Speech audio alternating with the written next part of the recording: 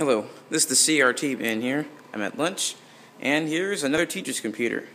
This computer consists of a Power Mac G4, uh, the Quicksilver, and OptiQuest V95 CRT computer monitor from February 1999, and this, yeah, like I said, this is a teacher's computer. It's in the math room. See, there's some information there. It's got a built-in VGA. Nice stuff back there you, if you look closely, you can see the hard drive, but you can't see it in the video. Uh, this is a very nice computer. It gets used on a very, it gets used a lot on a daily basis. So, yeah, uh, there's a Logitech mouse and another Blueberry iMac G3 keyboard. So, yeah, pretty awesome computer. One of the last Power Mac G4s left at the school. There's only one more other one. There used to be like four or five when I first came. But yeah, awesome computer. Thanks for watching.